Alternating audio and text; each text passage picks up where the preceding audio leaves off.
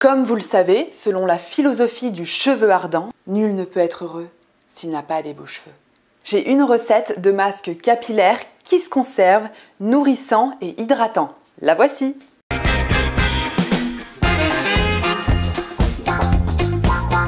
Pour cela, il vous faut 36 g de beurre de karité, 4,5 g d'huile de coco, 42 g d'huile de ricin, 3 gouttes d'huile essentielle d'ylang-ylang et 10 gouttes d'huile essentielle de pamplemousse.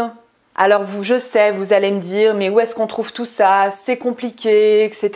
Non, vous allez dans des boutiques bio, vous allez euh, à la pharmacie pour les huiles essentielles, vous allez sur les sites internet dédiés à ça, aux cosmétiques maison, il y en a plein, et vous allez tout trouver. Une fois que vous avez ces produits, vous pouvez les conserver, faire des recettes de shampoing, des recettes de masse, des recettes de lotion.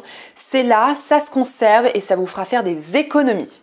Une fois que vous avez tous ces ingrédients, je vous recommande de mélanger le tout au bain-marie, c'est-à-dire le beurre de karité, l'huile de coco et l'huile de ricin.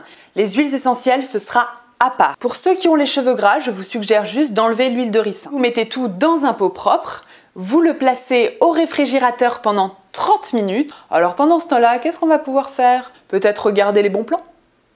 Une fois 30 à 40 minutes passées, vous retirez votre mélange du réfrigérateur, vous mélangez pour obtenir euh, la, substance euh, d'un masque. Vous allez voir, ça va aller très vite, vous allez très vite reconnaître euh, ce mélange qui est semblable au, masque industriel et vous allez pouvoir vous en servir dès le lendemain. Le mettez sur les pointes et sur les longueurs, vous le laissez reposer une heure, voire toute une nuit plus ça dure, mieux c'est. Voilà la recette. Ce masque peut se conserver 6 mois à l'air libre, à l'abri de la lumière et de la chaleur.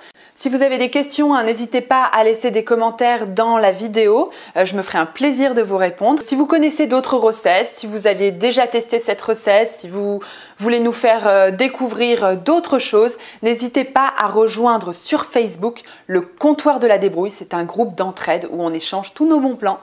Salut